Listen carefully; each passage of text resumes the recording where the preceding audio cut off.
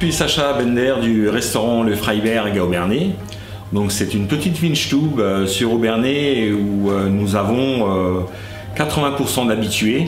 En Alsace, c'est hyper important parce que les clients veulent quand même, ils recherchent de la qualité. Et cette qualité, nous en avons fait part, on a investi dans une cuisine car nous avons besoin de travailler avec du matériel de qualité, sinon nous n'avançons pas.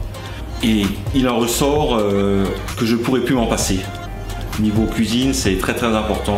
On passe tellement de temps en cuisine qu'avec ce matériel, c'est génial quoi.